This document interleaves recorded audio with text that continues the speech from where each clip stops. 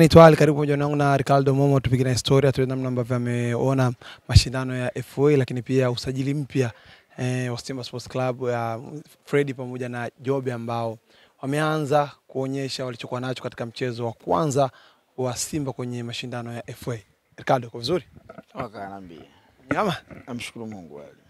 Ricardo, uh, tumeona Young Africans uh, mchezo wa kwanza wanafanikiwa kushinda bao tano kwa moja. Waki- waki- wakikuuliza uh, Yanga na house ni ngapi ngapi, waambie kama za Simba. Performance yao, lakini pia tumeona uh, bado kuna maingizo mapya ya vijana. Unazungumziaje performance Yanga? Lakini pia Yanga sasa hivi tunaona uh, kocha Gamondi anawapa nafasi kubwa vijana ambao alikuwa nao kwenye Mapinduzi. Ya- Yanga kwa vile vile uh, kama ulivyoona katika mchezo ya nyuma kabla ya ligi kusimama, tulivyoona Mapinduzi na tumeona pia na jana. Unajua kuna, kuna, kuna muundo alafu kuna, kuna, kuna matokeo. Yanga muundo wao ni ule uliotoka Gamondi achukue timu, muundo ni ule ule. Uh, kuhusu la matokeo ni jambo ambalo hilo halihusiani na muundo. Kwanza timu hiyo ni muundo kwanza, jinsi inavyocheza inavyomiliki mpinzani. Uh, na uzuri wa Yanga inavyocheza na timu yote ile, kuna utofauti wanaoonyesha kwamba wao ni Yanga na hii ni timu nyingine. Hata juzi mechi ya FA tulivyoangalia, licha ya goli tano tu, lakini muda mwingi sana Yanga walitumia kuumiliki mchezo, kumfanya kumwonyesha kwamba yule kweli ni timu daraja la kwanza. Huo uh, ni ubora ambao umetengenezwa toka mwanzo wakati Yanga anaichukua Gamondi mpaka hivi sasa ambavyo tunavyoiona. Kwa hiyo kilichobaki uh, ni kwa sababu umetoka katika, katika mapumziko, ndio mchezo wa kwanza wa ushindani na kupata mechi za kirafiki, lakini bado wako vile vile tu. Kwa naamini kama ingekuwa hii timu imekuta Yanga katika Yanga kipindi ambacho ndo wapo kwenye ushindani, basi hizi tano zilikuwa ndogo. Shabu mzuri eh, hakustahili kufungwa tano. So, kwa jinsi walivyomilikiwa na walivyotawaliwa katika mchezo, lakini kutokana ndio mkuta ndio mchezo wa kwanza wa Yanga ndo kwenye pre-season. Baki ndika pre-season vile maana yake, kwa sababu kupumzika wiki mbili wiki tatu mwezi jua si jambo dogo, na maana unaanza tena upya. Lakini uzuri waliendeleza pale walipoishia kwenye masuala ya matokeo, ndio mchezo wao wa mwanzo wa kiushindani. Kwa hiyo kwa matokeo aliyopata si jambo dogo, lakini wangewakuta wapo ndo vile wa moto kabisa kama ilivyokuwa hapo nyuma, basi wangepokea zaidi ya hizi hawa vijana. Kwa hiyo wako vile vile Yanga mm. Jonas Gerard Mkude uh, nungunungu uh, Omboy amefanikiwa kufunga bao lake la kwanza tokea amejiunga na Young Africans kwenye msimu huu. Eh, shuti la mbali kwelikweli limemshinda mlinda mlango. Performance ya Mkude tokea amekuja Yanga unaizungumziaje, lakini pia na kipindi hiki ambacho anapewa nafasi ambacho ah, Daktari Alidi Aucho hayupo? Ah, kusema kweli eh, performance performance yake ukiangalia toka Yanga hajakuwa na performance bora, ndio maana hata kuingia katika timu eh, amekuwa na wakati mgumu, sio kuanza tu, hata ile kuna michezo mingi wanampita sometimes wacheze kabisa. Nafikiri katika game time alipata muda mrefu sana wakati yuko kwenye Mapinduzi pia.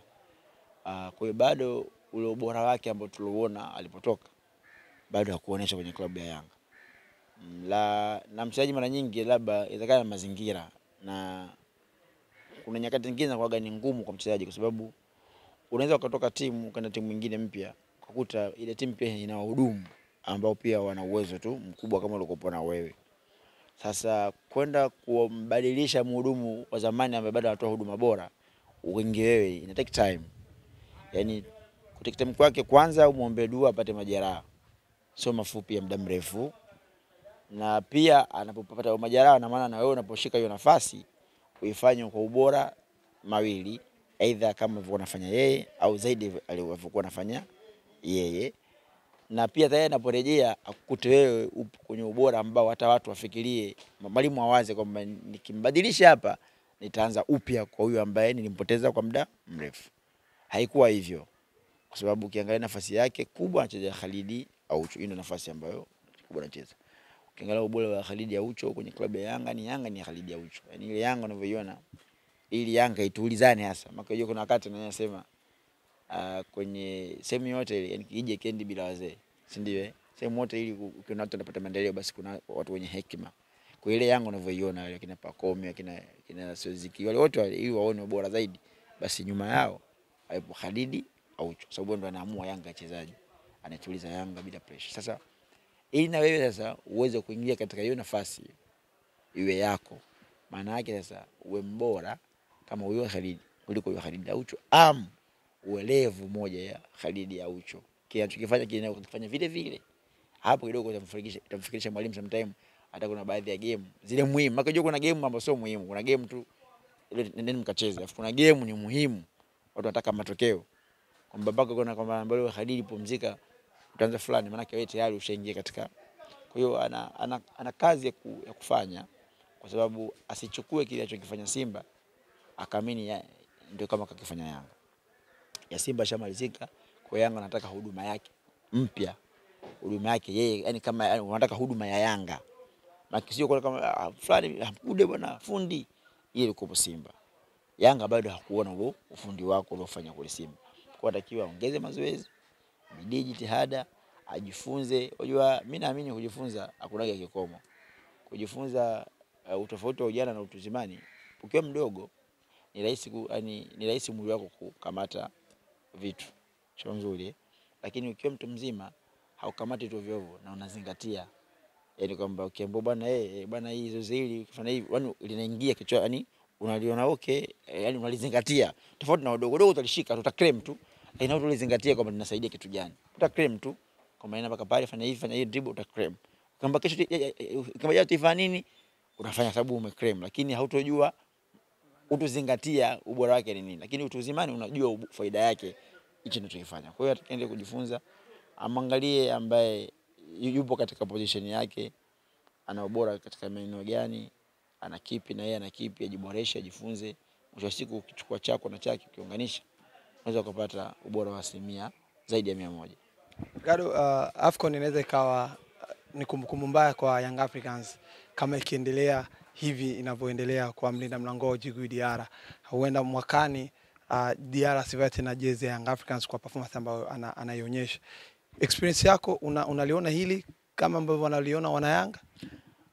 Ila kwa unajua, kwa position ya Diara kwanza kwa taifa lilikuwa nalo mpaka kuja huku Tanzania kumpata Yanga kutakuwa kuna tatizo kwa Diara, na si tatizo la labda la la kinini la kiuwezo. Wenzetu jua naanga vitu vingi sana eh, wenzetu, na kwanza katika falme za Kiarabu, falme za Kiarabu au ndo wapinzani wazito sana ambao wanaongoza kuchukua wachezaji falme za Kiarabu katika Afrika hii, katika position ambazo wao hawahitaji mgeni ni goalkeeper. Hiyo bahati ya kwanza ambayo kwa Yanga wameipata. Maki yao ndo wapinzani ambao pekee wakiona kitu bora wanakichukua. Waarabu position ya goalkeeper sio si Morocco, si Misri, si Algeria, si wote katika position ya goalkeeper eh, ni ma- Mamboi. Ndio maana kila mashindano tunaona wa- Waarabu wana makipa bora.